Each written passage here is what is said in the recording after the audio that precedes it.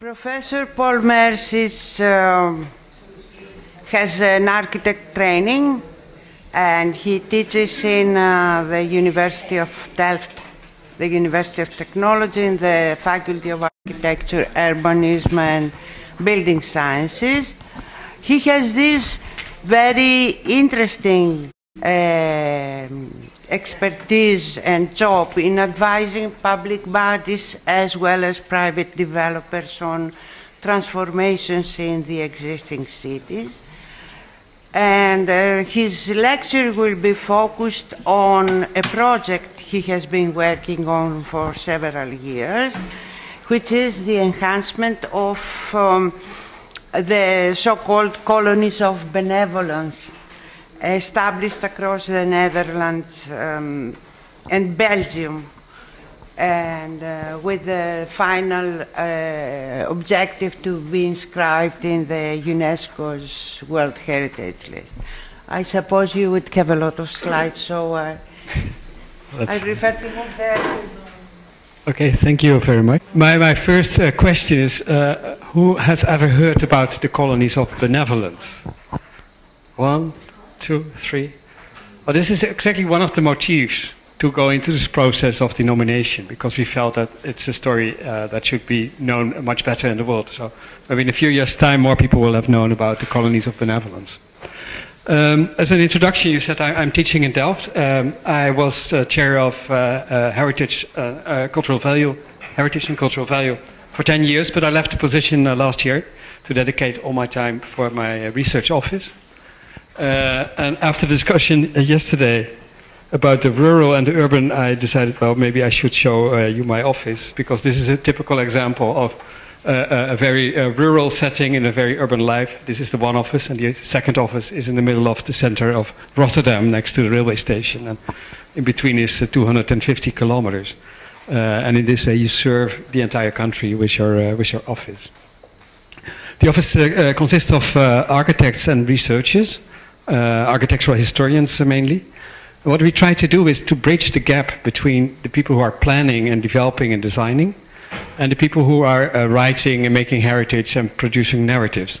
So we are kind of interpreters between the world of the language and the world of space. And that's exactly one of the things in the uh, story I'm going to tell uh, now about the uh, nomination of the colonies. Um, if you look at the Dutch history, there's a very striking contrast between what happened in the 17th century, the era of expansion, when Amsterdam was one of the major cities in the world, and what happened one century later, when the country was in an economic decline, the cities were shrinking, and there were lots of social problems.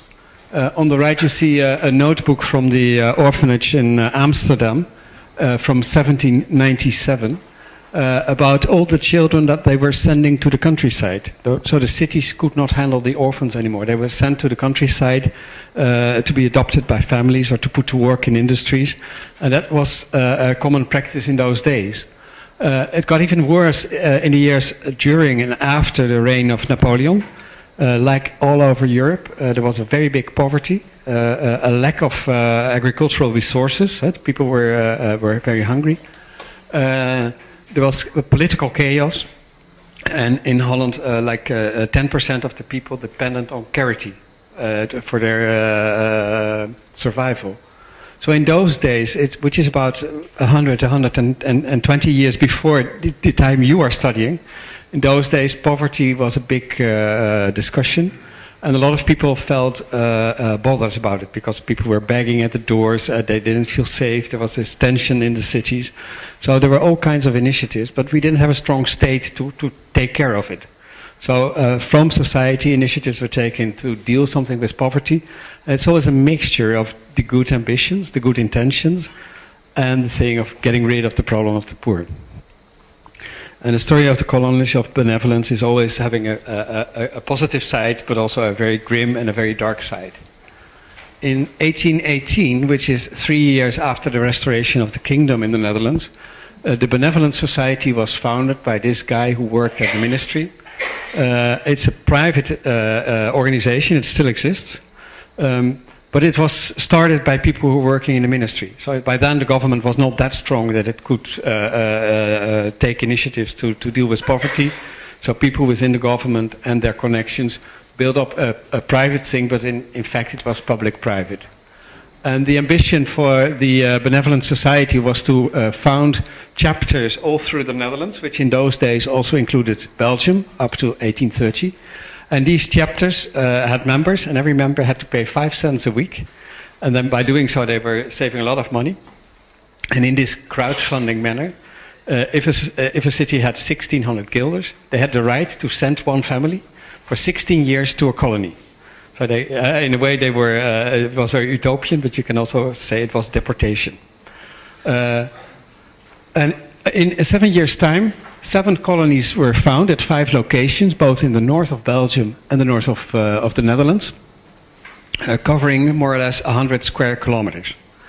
And the idea was to uh, solve the problem of poverty completely, eradicate poverty, um, by transforming the poor people into uh, farmers. And by doing so, the second objective was to uh, enlarge the agricultural production and in that way uh, uh, uh strengthen the, the national economy. so by solving two problems at the same time, the, uh, uh, the vacant lands in the, in the country would be cultivated and the poor people would be uh, emancipated and would return to society. Yeah, they were not deported to Australia like the English did, would come back to society as normal people. This is the uh, prototype of, uh, of the colony. It's not about architectural value, as you can see, very simple forms. The idea was that a family from a city was living in this farm uh, building the land around it. And uh, uh, part of the production, exactly like we saw yesterday in Spain, was for the company to pay back for all the things they, they had, uh, the, the, loans for their, their costumes and their, their food and their house. and part would be for their own survival. Um, and of course, the ground the, the, the was not so very fertile, so they never managed to pay back the, the things they, they, uh, they got from the, uh, the company. In many cases, the families were composed, which meant that if you had two children, you would get four orphans, and that would build up the family. So you can imagine, if you read the stories, there was a lot of tension, there was a lot of abuse, etc.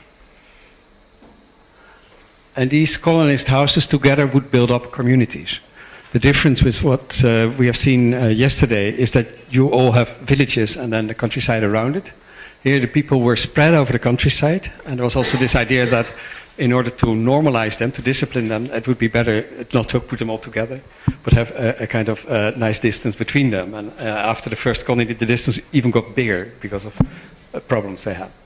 Uh, and spread throughout these uh, colonies, there would be education, there would be supervision, there would be people for law and order, uh, and there would be all sorts of things to have a kind of autarkic life. So you must imagine these colonies as a kind of satellites way out in the countryside, a world on, on, on its own, uh, where everything was dealt with and organized by the, the company, which was really a big brother thing. Uh, and in this way, people would be disciplined to a normal life. After, uh, here you have an example of some of the colonist houses which still exist. 400 of these houses were built and some 50 are, are, are left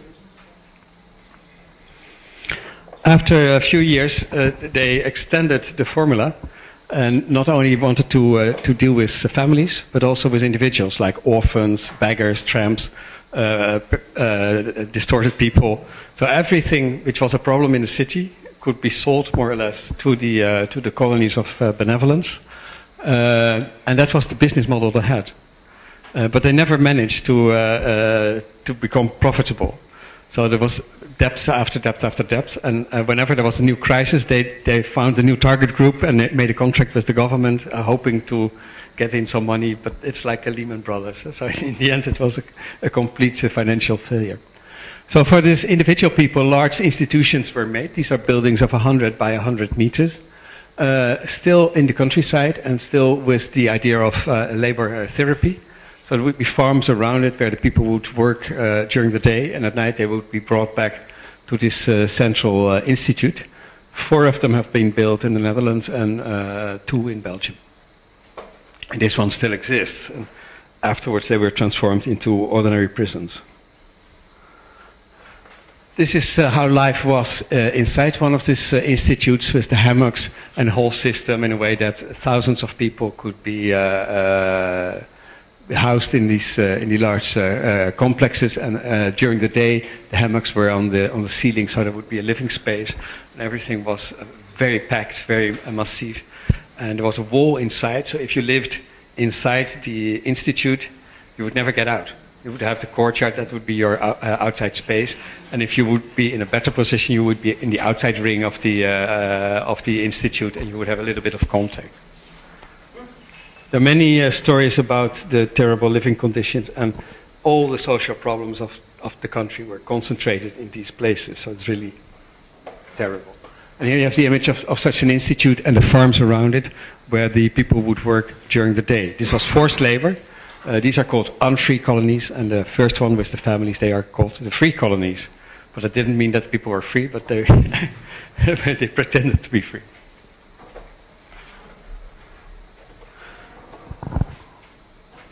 It is an experiment, and uh, uh, um, if you look at the, uh, uh at, the, at, at, this experiment from, from today's perspective, uh, you can only say that it was a big failure because a lot of assumptions didn't come through. Uh, financially, it was a disaster. Socially, it was a disaster. it didn't change the Netherlands. poverty was not eliminated. But on the other hand, maybe that's too easy. And I think also in, in, your colonies, the question is not if it's good or bad. It's our history. It's, it's something which is uh, uh, a, a, a, process in time. Uh, this was a kind of a wake-up call that poverty was a problem which had to be de dealt with by the government. It was a starting point. And from the bad experiences in the colonies, after all, later in the 19th century, the social uh, uh, legislation was, uh, was produced. So criticizing this model helped to come up with better uh, alternatives and to uh, eventually solve the problem of, of poverty in, uh, in the Netherlands. another thing about the judgment is that um, these things do not stop at a certain moment. They still exist, like your colonies. Uh, uh, and if you say they're bad, huh, then it's like you want to get rid of them. But they are still there. People are still living there. They have their history. They stick to the names even of, of, of Franco, huh, as we have seen yesterday in the film. Um, but it can get maybe a, a, new significance. It's, it's a place of transformation. If you look at the uh, evolution of, the, of the, the colonies of benevolence, a big step was already in 1830 when Belgium left our kingdom. So from 1830 onwards, the Belgian colonies went their own course.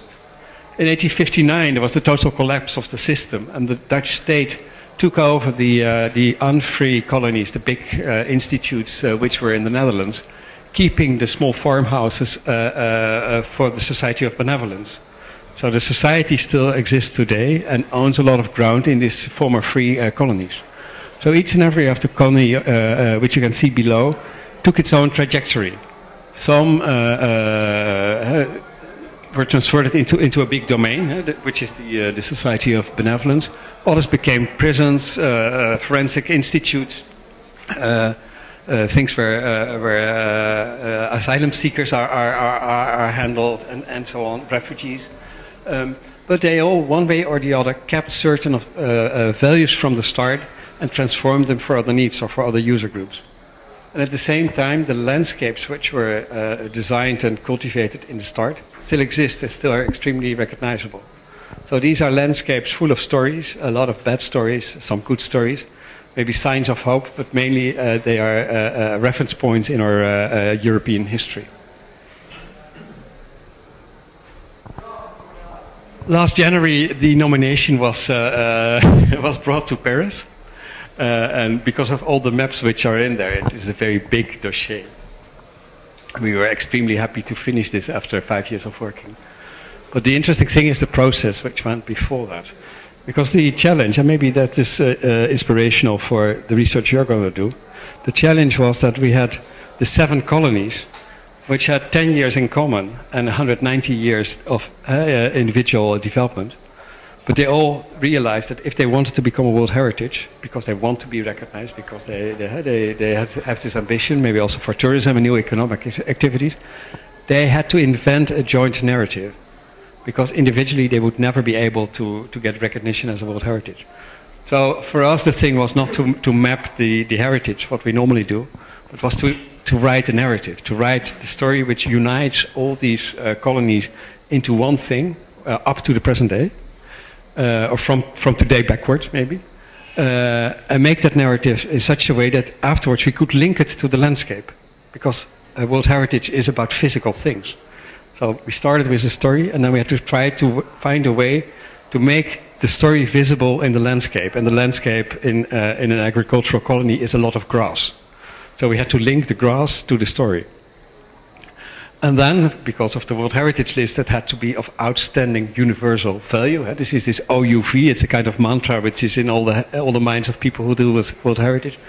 We had to prove that this narrative and the way it was reflected in the, or visible in the landscape would be of outstanding universal value and that it was authentic and it had integrity and all the things that you have to prove in a nomination dossier. So we embarked in, uh, well, some years ago on this whole process of writing the story, inventing an OUV, trying to visualize it in the landscape, define the boundaries, define the attributes, uh, the, the, elements which, uh, which you can see in the landscape, uh, uh work on the management and all those things. Together with two countries, four provinces, uh, uh, 11 municipalities, and thousands of, of people. So this community and participation was a kind of a constant thing because these nominations they have a big impact on villages, and you cannot just have this as a kind of uh, hobby for some uh, politicians and some uh, specialists. It has to have uh, uh, uh, approval from from the communities. So all through this process, we we, we exchanged information. It was a lot of information. And, and, and the interesting thing which happened, and, and that again could be interesting for a case like we saw yesterday in Spain, is that at the beginning these these are uncom- it's uncomfortable heritage. It's, it's, uh, uh, it has a bad side, a bad connotation. So in the beginning, there's a kind of a taboo. You don't even dare, dare, to say you come from this place when you're outside. This was the case in our colonies. But as it becomes history, people they are very happy if they get a recognition because they, the, the pain they had or their grandparents had or all the suffering uh, you can say it was worthless, but you can also say it is being recognized as something which is, is a phase we had to face in our history. I think also the, the, the, how, how we deal with the wars from the past. It depends on how you uh, process this and, and how you give it a place that you can also uh, create new perspective. So this recognition we, we noticed is extremely important in the colonies, and as soon as people feel that they are treated seriously, for the first time perhaps, uh, then they come up with all the stories and they want to tell their, their uh, testimonies, they want to tell their stories. And uh, from all the colonies, we have, uh, uh, uh, we have books now, liter literature, Dutch literature, about the life in the colonies, some researches, some by people descending from colonists, which is seen as something, a very unique story, and people want to share that. And the, and the third step in this participation, after this thing that you start listening to each other, you, you get rid of the taboo, uh, you recognize uh, the, the, the, the case, is that it is being transformed into proud. People are extremely proud of uh, the fact that they are living in a colony. So this bad connotation is completely substituted, and they have to be. Uh, they, they, became kind of the spokesman of what happened in the 19th century in the uh, in the Netherlands. And that's maybe one of the, the best uh, products, eh? independent if you get this nomination uh, done or not with UNESCO. This process of emancipation of, of, the, uh, uh of the region, uh, recognizing the story and telling that inside Holland, but also outside, that is a very positive thing, um, which I can imagine could be one of the goals in your research. Is also it's not to make a, a, an evaluation or a judgment, but is to inform about what happened and reflect upon that and learn from that and give it a place in history. So when we started, we made a big tour through all the colonies, and we saw a lot of grass, and we saw a lot of landscapes, and thought, well, this is what we have to sell to uh, to ICOMOS and to UNESCO. Um, now I know that if you know the story, you can see uh, a path and it is the path where every day the, the, the, the, the colonists had to walk from the uh, Central Institute to the lands. So in this landscape, uh, very subtly uh, hidden, you find references to uh, this whole system of the, uh, the way the colonies of benevolence were working. Uh, but of course, there's also lots of buildings leftovers from the Benevolent Society, like the head office, where still is the, the colony uh, asylums, lots of churches, the cemeteries, which are really the most impressive uh, areas where thousands of colonists were buried. Um, you may even find the two Jewish cemeteries, and you find lots of things which, which uh, could be components of the stories we want to tell, or which could be the attributes which help to, make, to visualize what is uh, happening there. You find some of the original farms, like on the, on the bottom, uh, all uh, built by the society. And you will find lots of things which were built by the Belgian state and the Dutch state after the uh, areas got nationalized. And then you get the large prisons, the very monumental prisons in Belgium, and the ones in, uh, in, uh, in the Netherlands.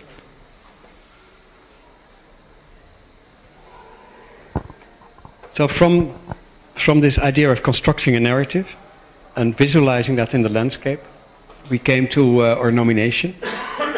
Uh, I don't want to give you all the details of the nomination, but just the things that we thought is interesting of the thing, because UNESCO uh, has this operational guidelines. I don't know if you know anything about the system. Uh, you can download that from the internet, which is a kind of handbook on how to make a, a nomination, and it's very directive, and everything is very well constructed. So in the beginning, we were kind of allergic to these guidelines because you want to make your own story, and then you're forced uh, uh, by the guidelines in the format. But afterwards, it proved uh, uh, very productive for us because it helped us really to get focus in uh, in our research and, and get to some result and, and, get it into the format. And one of the main things in, in a nomination is that you have to prove its uniqueness for the world and uh, uh, there's a list of 10 uh, reasons why something can be unique, which are the 10 criteria. So the criteria are fixed, you have to choose them and, and make clear why your nomination fits to that criterion. Criterion one is a masterpiece of human genius. Huh? That's the Opera of Sydney, for instance. And nobody can ever imagine uh, such uh, an opera to be like that, but only a, a genius or, uh, or, or, or um, we, of course, didn't think about the human uh, genius because that's not at, at, all the case in the, in the colonies. But we choose uh, three categories, uh, uh, three criteria the number three, the number five, and the number six. And I just want to show them how we build up our argument. Uh, three is about uh, the, the, the, tradition of mankind and how that is manifest in, in a place. So we said this is a place where the tradition of social engineering this idea of uh, the enlightenment, of changing uh, people, uh, uh, is very visible. And, and, it's a very early example of uh, the effort by a state to eliminate poverty through a system of agricultural settlements. So, this whole social system, the disciplination, all those things which are linked to that, we covered in the criterion number three. and then you can uh, talk a lot about the disciplination and it's uh, the interesting thing. It's about the conditioned life here with the bell every morning, and everything was very much scheduled. But also the landscape was very uh, uh conditioned.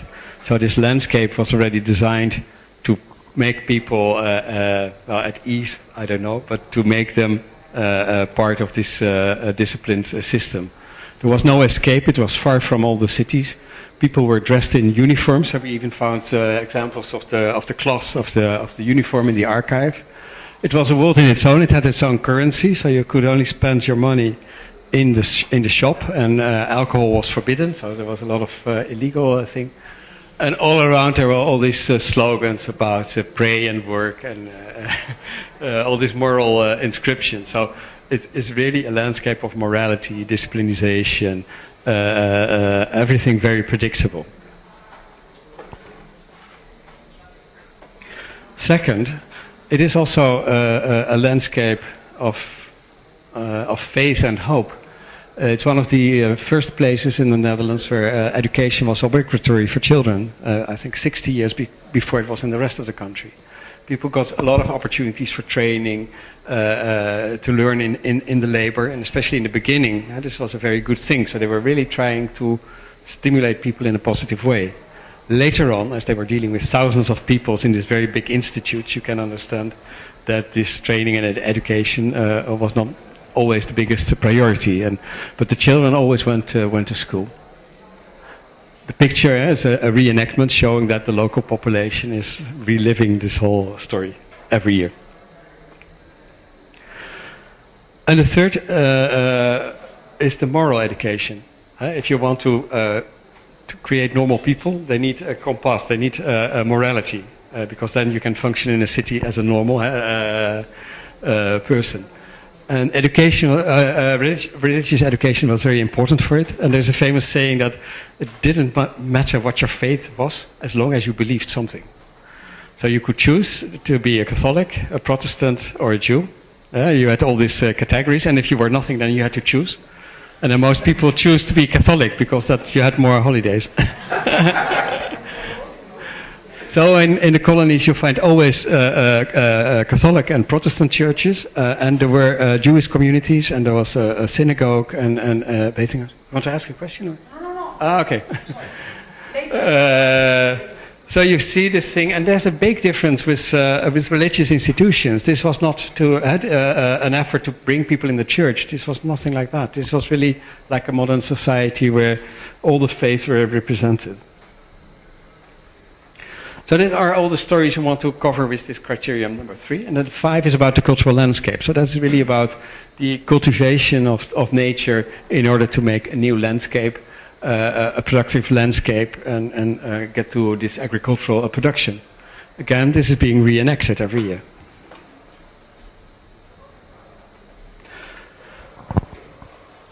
What, what I like very much about the series of seven colonies that they are all orthogonal uh, uh, projections over the natural landscape, but they're all very different. So it's not a blueprint, but it's a logic of thinking which is uh, uh embedded in different landscapes. Some landscapes are uh, with peat, some are with, uh, on, on, sandy grounds. they're all were not so very productive.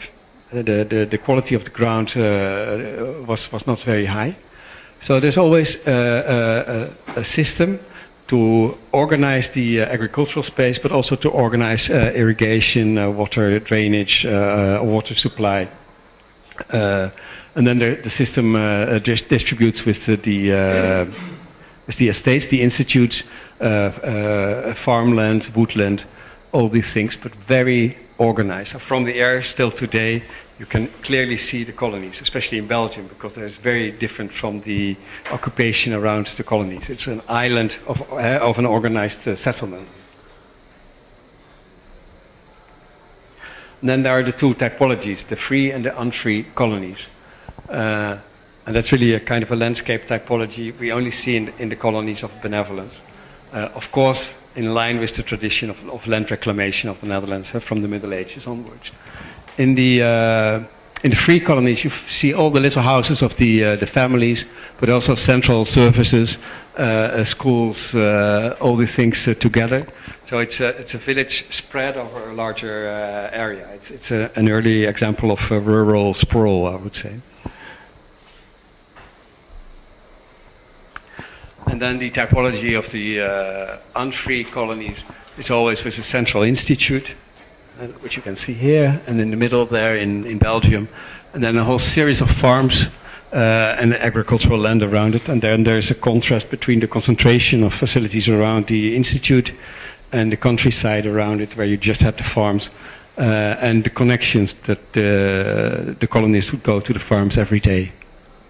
After all, uh, some crafts were added to it because some of the people were absolutely incapable of doing the work at the land. And they were also unwilling to do it. So there's a lots of remarks in the archives about the low productivity of the colonists and, and all the problems uh, there were to get them to work. But this whole model of the organization you can still recognize in the landscape, if at least you know the story.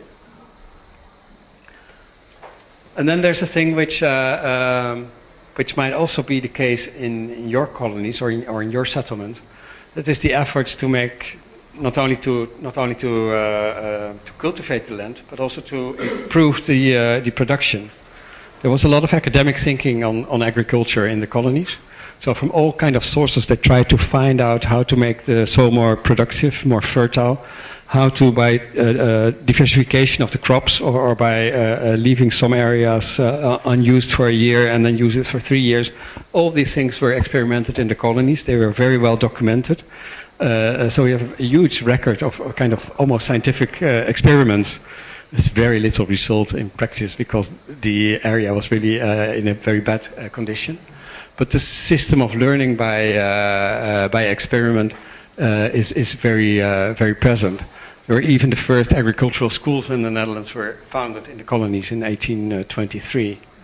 Here you see two examples of allotment. One is from uh, from Frederiksoord, which is the first colony, and then in, in the uh, third or the fourth colony in Belgium, uh, examples from the, from the Netherlands were sent there, and they improved it and thought about, with the comment and the ex uh, experience of, of the, the Dutch colonies, make a better version in the uh, Belgian colony. This is how to organize the land. And the idea was that the, uh, the, the, colonists would have uh, four areas of land, which we call a morning, which is the area you can cultivate, that you can dig in the morning by one man. So that was the measure of the of the areas. Later on, it was uh, larger because of the the, the, the, the crop and the and the output of the land. And the last uh, criteria of UNESCO, uh, which we adopted, is the associative value, criteria six. It's a difficult thing because it's about uh, uh stories, uh, and it's always difficult to prove where you can find it. But we feel this is very much uh, a landscape which is a, a, a testimony of something in your mind.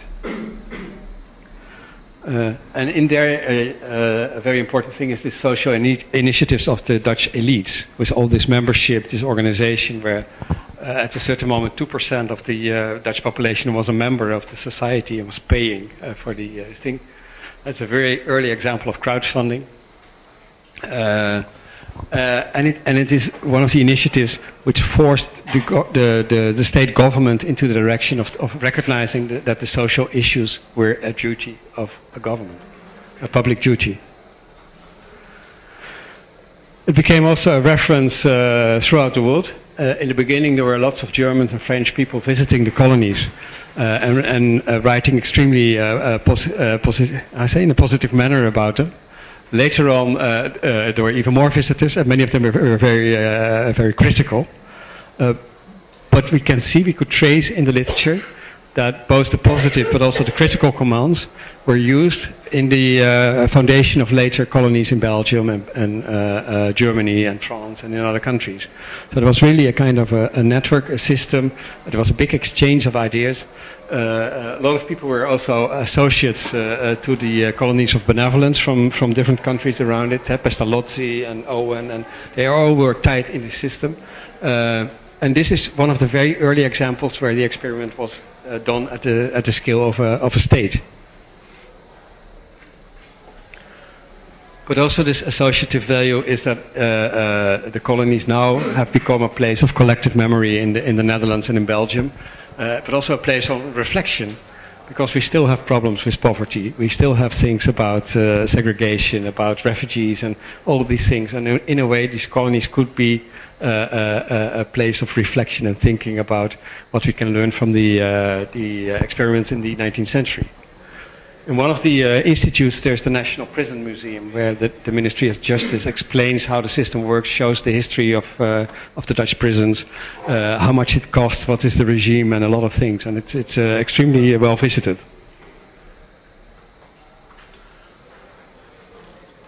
We have these reenactments of which you have seen different uh, pictures, where the people, the local people themselves, dress up as colonists and receive a lot of tourists.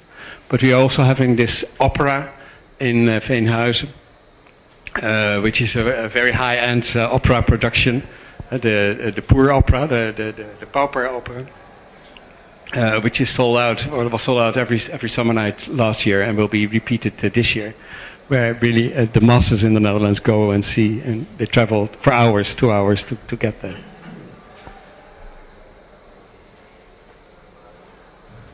The, the dossier is online, so if you're interested, I can give you a link.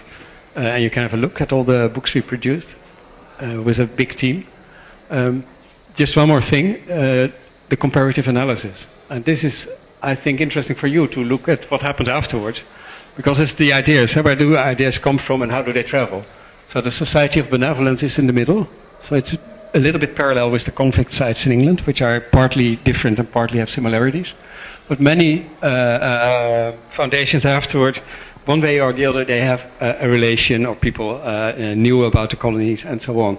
So you can see all these uh, uh initiatives, and in this way, we want to prove that this, the colonies of benevolence were not the solution, but they were a starting point of, of uh, the uh, I say the modern society and the welfare state in, in Europe.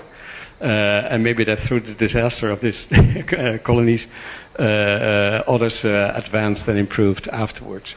And this goes uh, all the way to the present day. So now we have the, uh, the seven colonies on five different locations uh, in the process. And hopefully next summer at the uh, World Heritage Committee meeting, there will be a decision, and this will be exactly the year that the colonies exist for 200 years. So everybody is very anxious. But for us, the work is done, and we've already forgotten this thing, and we're going to other things. To finish my story, I want to show you some things just about the techniques we have used for the mapping of the colonies. Uh, and maybe there could be uh, some input for your methodology, I think. Oh, one last, last thing about the nomination. There was a huge bus with uh, the, the emblem of World Heritage. Went to Paris with all the mayors and aldermen, and they, they made a kind of estafette through all the colonies and then went to Paris. About mapping, what we did a lot was the superposition of maps. It's a very easy uh, uh, technique, but extremely uh, powerful to see what is still there, what has changed, and we used it to uh, to prove the integrity of the of the colonies. Uh, here we have the 1830 first cadastral map uh, and today's map, and you can see that this pattern was already there in 1830. then we have the 1905 map, and we have today's map. So we could easily show what are the locations of the farms, and then in red we indicate the farms which are still there from the beginning. There are only two farms in this colony uh, which date back to the years of the uh, society. But all the others, the, the, locations are still there. So in the structure of the landscapes, the farm are still recognizable. And you can discuss about the other farms which were constructed in between later. But the, the whole uh, thing is uh, still visual. So the superposition, and then the next step is to put it all in uh, GIS and link it to other data uh, is still there. Another thing we did was we wanted to show the uh, evolution of the landscape. So for all the colonies, we choose a, a, a typical section and try to make a reconstruction how it was in, uh, in, uh, in the phase of uh, construction, uh, the natural landscape, in the initial phase of the colony, in the uh, second phase, which normally was when the state took over, and in today's landscape. So you can see how the landscape evolved. And we can prove also with botanic research that certain uh, trees uh, were already there 200 years ago. With the tools of today, this is a very powerful thing also to uh, get people engaged because you can show them their landscape they know, and from there you can show how it was 100 years ago or how it was 200 years ago. Uh, another thing we had to do to get to the attributes is very detailed mapping. So if you uh, map an area, if you map such a colony, like this is the Wortel colony in Belgium, you can uh, uh, very precisely indicate all the buildings from the uh, thing. And we have seen already some examples yesterday, uh, in, in, particular of the central squares in the, in the, uh, in the settlement, where you can see which are the original houses and which have changed. If you just map that very precisely on the whole region, you immediately get the picture. You can see how it was, how it is today, and what was added and what was changed. Uh, and it's not about only about the buildings, but it's also about the waterways, the roads, uh, uh, forests, and, and so on. These maps they really hide a lot of information.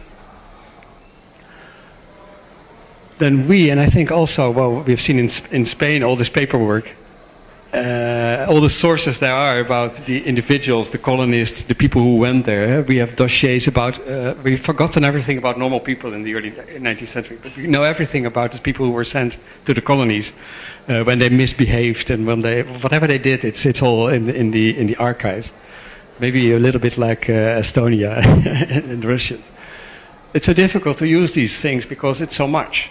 But at the same time, it's such a powerful resource to bring back the individual in this massive state uh, organization. So uh, instead of knowing everything of everybody, if you just know a, certain, a few people and you can tell what happened to them, they can be the ambassadors of all the other people who remain silent. Um, we have a lot of volunteers in the, uh, in the, in the colonies, and uh, uh, mainly the elder people who love to be in the archive. And they have linked all the individuals to the, the, the geodata. So now we have maps and you can uh, uh, indicate them and you can see who has lived at this place. Or if you have a name, uh, like I put in my family name, then I can immediately see where people with my name were uh, living and when and what they do. So these are the uh, archive uh, tables in, in Drenthe in the archive. This is for the free colonies. So with your finger on the right top, you can point on the map and then you can zoom in into uh, what kind of people live there, and you can uh, uh, get all the documentation and, and uh, about the people. So here we link the, the individual stories with the landscape. And a lot of people come and they're extremely interested. Huh? That's also part of this recognition and pride that everybody's very curious to know. In the beginning, if you would have a grandfather, which was a little bit awkward, so you, you would uh, ignore it. And now you're extremely proud on, on, on, on television to tell about this, these strange uh, relatives of yours and how they misbehaved in the, uh, in the society. When you get to conclusions, and all our colonies, they all have a very different trajectory, like your colonies have. Um, by mapping them in a matrix and trying to say what is the distinguishing quality in terms of landscape, in terms of typology, in terms of evolution, in terms of whatever you put in. But these matrices, they are extremely helpful to organize your thing and, and make comparisons, not by saying you're comparing apples with pears or oranges, but by just systematically organizing the data so you can know what are the uh, uh, similarities and what are the differences between the different uh, uh settlements. So again, it's not to, uh, to suddenly say that they are family, but you can say where, in, uh, if, if, it's in the functional or the physical or in, in whatever tissue it is, that they, uh, uh they have similarities or, or differences. and then uh, eventually some slides about uh, the management of the areas and, and, how we try to keep this as a heritage thing. They are very large landscapes, they're living landscapes. A part is still an agricultural thing, and when it's about participation, there's the participation with the people in the village. And that is always, well, you have to, uh, to trust each other, and then it's a very positive dialogue you have. But the communication with farmers in Holland is a different thing because farmers, they are allergic to government. They are allergic to anybody who wants to imply rules upon them. I, mean, I can imagine that it's like that in the whole world. So this idea of making World Heritage, and you say, well, nothing will change. You can keep on being here. You can extend your farm, but maybe some some regulation. They say no because you say that, but next what you will do is uh, you will tell us what to do, and we have to receive tourists, and so they are absolutely against it. So in one of the colonies, we really had to eliminate the buffer zone because there was no uh, no support from the farmers, and they had a very strong lobby.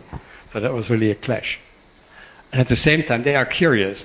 So little by little, maybe in, in a few years' time, they will get used to the idea of being heritage, and then uh, join up and some of them they, they like it very much and they, they extend their uh, their business model uh, with uh, cultural tourism. And, and uh, you can buy products uh, at their farm and they, they reenact and they, they guide people through the landscape because at the same time they're proud of the place. So it's a, a, a difficult dialogue. This is uh, one of the colonies, the one I also showed in the in the evolutional diagrams, where there's a kind of hierarchic system of preservation uh, where there is the, uh, the big institute and all the main uh, uh attributes are found. Uh, it is the, the, red zone, which is like a conservation area, like a, urban, urban heritage zone. When it's still the core property of UNESCO, but it's only about the structure of the landscape, it's, it is conserved by the, by the urban plan. And we can add heritage value to our urban planning in, uh, in the Netherlands. So you don't have to give it a special declaration or denomination as urban heritage. You can just put that in the regulations. And in the buffer zone, we just recognize this as a buffer zone, uh, and all the present uh, uh, uh, regulations they, they are in place. And only in the future, when there might be a discussion about wind turbines or anything, which will really change the landscape dramatically, then there will be a discussion. But in UNESCO, there will always be a discussion, and no matter if it's inside the buffer zone or outside the buffer zone. But in this way, we could sell this idea of World Heritage of a landscape to the local uh, uh, municipalities. And a lot of European money has been invested, in particular in Belgium, in the uh, restoration of the farmhouses. Uh, at the Merksplas prison, there will be a big visitor center and a lot of new initiatives. So this nomination process is also kind of a generator to tell the story. And there's a kind of effort, and that's a little bit difficult, to get all the colonies together in their communication. And they want to say it's one history in five stories. Uh, uh, so, so that, that, everybody has the freedom to make their own story, but still there's the umbrella of the uh, of the colonies, and also in the museums in Holland and Belgium, a part of the concepts they share and they specialize on different things. So there's a lot of exchange between them, which all started because of the nomination process. Be before we didn't know anything about the, the colonies in Belgium.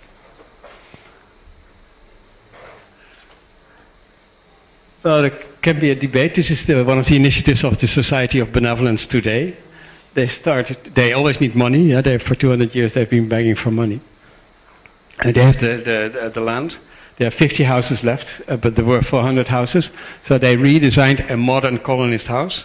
Uh, and they say it's a zero emission thing, so that's in line with today's uh, the, the, today's interpretation of the uh, of the key uh, values, and it's a big success. They sold a lot of them, but now our colonies are, are completely stuffed with this zero zero emission homes full of uh, so solar panels and everything.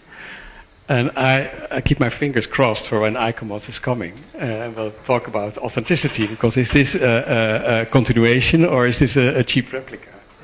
And you can also say, well, it doesn't matter because it's about the landscape, and in the landscape structure, if you have uh, the, the, the, buildings, the modern buildings, it helps to understand the authentic landscape. But anyway, uh, there's always a lot of discussion. But the big challenge for us is to, to really give the, uh, the, the, core value of what the society was uh, uh, founded for. Uh, the, uh, the social improvement, the elimination of poverty, uh, the well-being of, of the population, that should be addressed in new products, in care or in social initiatives or in places of reflection. And as the prisons are slowly leaving the area, we have a lot of things to recycle, to reuse. And cultural tourism on its own is not enough. We need really uh, uh, uh, new initiatives which fit to it. And that can really help to give a new life cycle in which the, the colonies will uh, uh, stay different in, their, in their use than the uh, countryside around it. Um, but that's a very difficult process because the local communities um, they step in this debate at a, at a different level than, than people who come from outside. But little by little, we hope that maybe the colonies might become a center of reflection or a, a, center of care for the elderly or all the things that our society today is desperately uh, needing. Okay, thank you.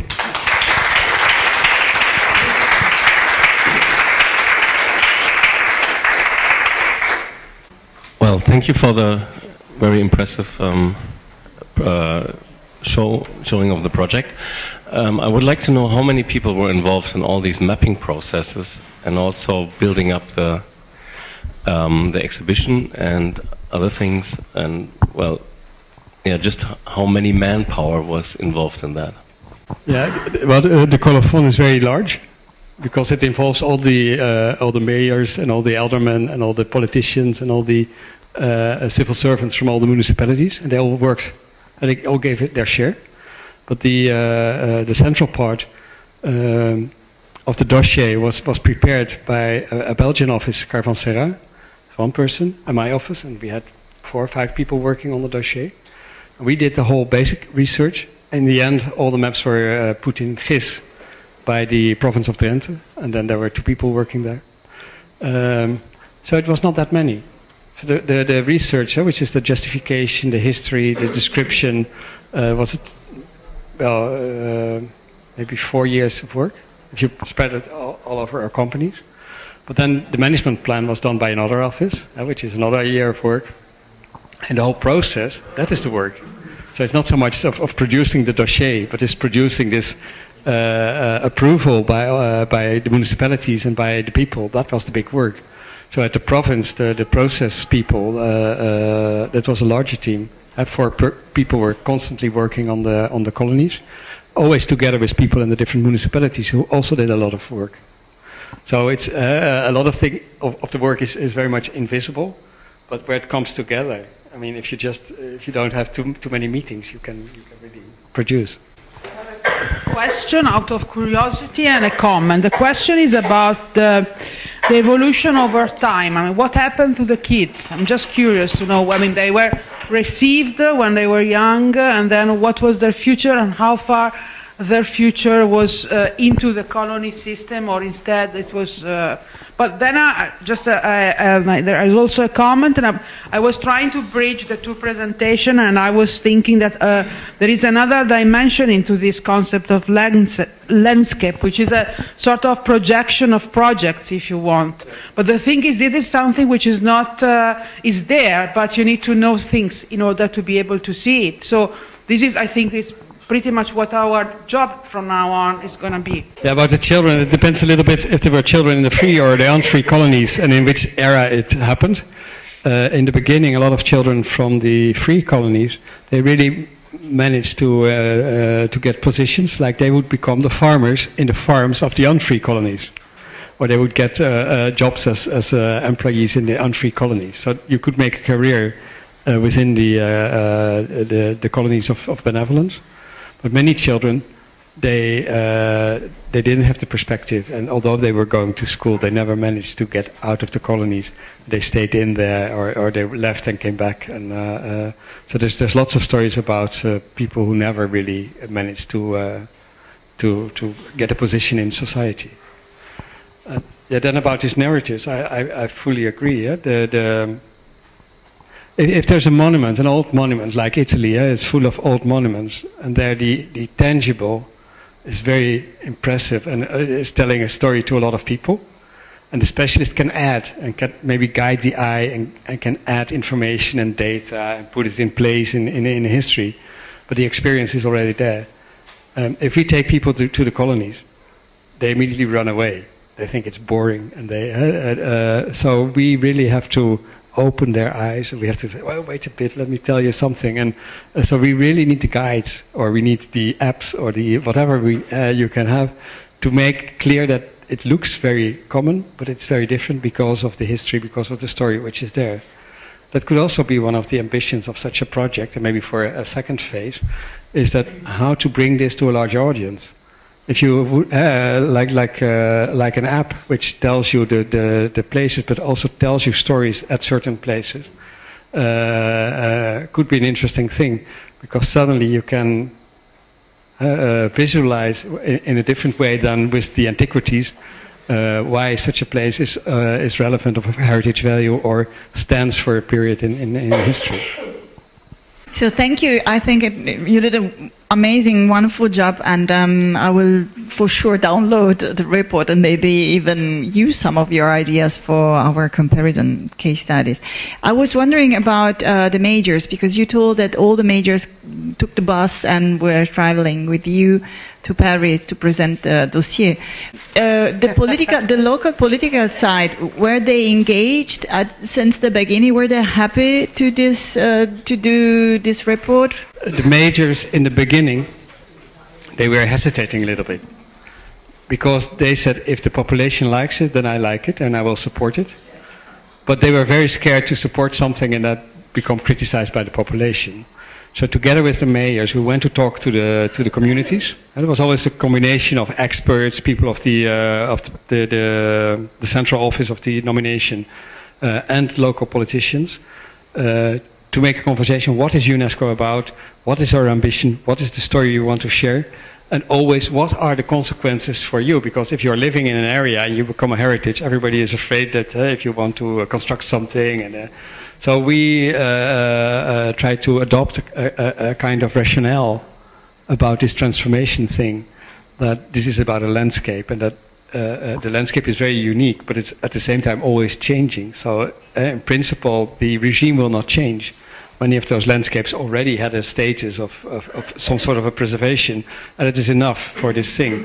So as soon as people got confident that this was not a threat, but a kind of a, a benefit for them, then the mayors immediately became very enthusiastic and they all wanted to travel abroad and they all want, so once they are in the, in, in, the club of the world heritage i mean it's really one of the, uh, the i say the, the, the thing on the cake uh, uh for, for a mayor of a small village uh, to, to be part of the world heritage uh, community. So, so that's their ambition. Okay thank you very much